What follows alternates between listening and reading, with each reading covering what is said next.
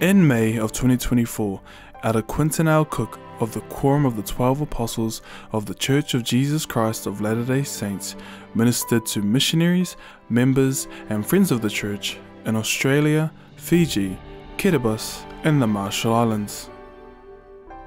Elder Cook travelled with his wife, Sister Mary Cook, to the Pacific area.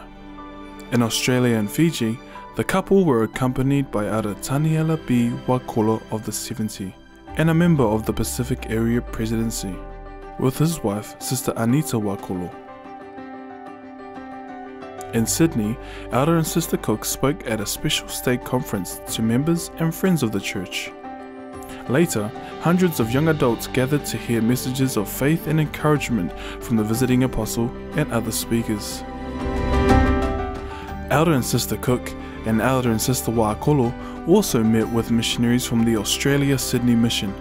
A photo opportunity in front of the Sydney Opera House provided a memorable experience for all.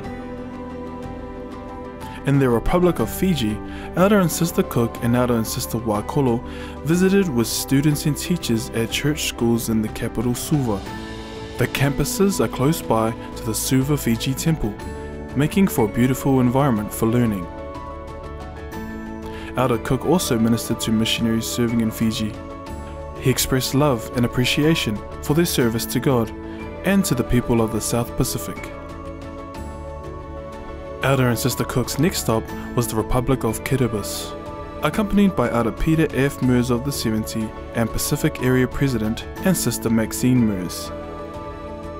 Elder and Sister Cook met with missionaries, members, and friends of the church. They also visited the site of the Tarawa Kiribati Temple, a house of the Lord. Announced by Church President Russell M. Nelson in October 2020, which will be constructed in the coming years, members in Kiribati are eagerly waiting and preparing for the temple by keeping the commandments. I really like how he shared the importance of keeping the Lord's commandment.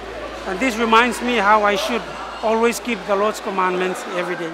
In the Republic of the Marshall Islands, Elder and Sister Cook and Elder and Sister Meurs ministered to missionaries, members, and friends of the church in Majuro and in Ebeye, Kwajalein.